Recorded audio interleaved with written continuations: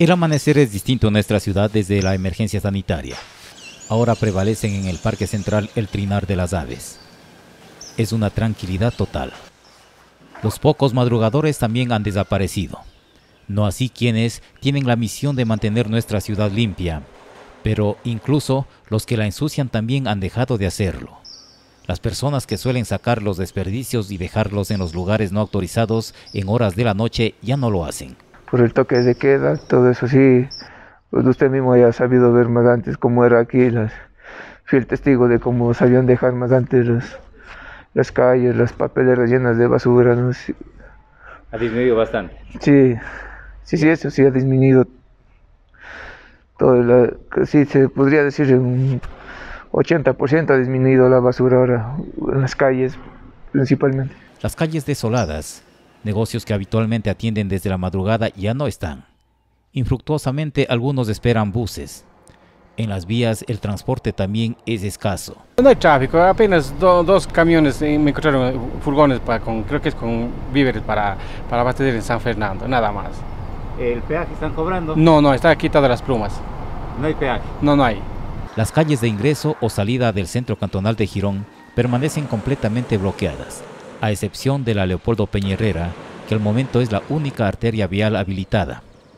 Aquí durante el día se hace una desinfección de los automotores por dentro y fuera. Son aplicados una solución para evitar que el temido virus pueda entrar a la ciudad. Las puertas están cerradas, solamente abren los negocios autorizados como son farmacias, la banca y lugares de abastecimiento de alimentos.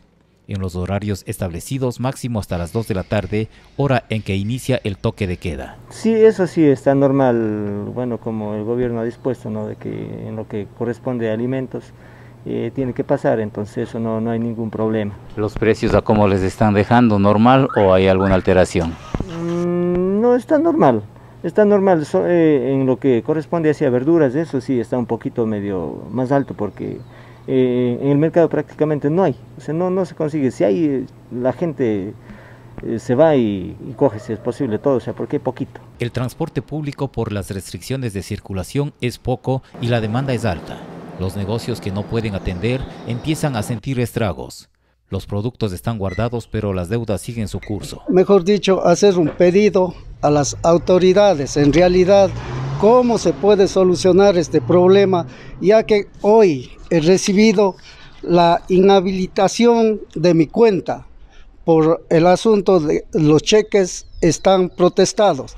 Según el gobierno, según las autoridades, nosotros nos estamos acatando a todas las disposiciones, los negocios cerrados y todo, pero estas son las consecuencias. Y como saben, un cheque protestado es el 10%. Entonces, ¿cómo nos pueden solucionar? Mascarillas, alcohol y gel son productos de mayor demanda que escasean en las farmacias. El problema es que las distribuidoras tienen precios altos y los despachos son demorados, aseguran. Estas son unas pocas historias que se vive a diario en la calle en los primeros 15 días del estado de excepción. Mientras ello ocurre, hay miles de personas que esperan que todo esto pase y vuelva a la normalidad. Hasta que ello ocurra, el planeta se recupera con menos presencia del hombre. www.achiras.net.es, el portal de Girón.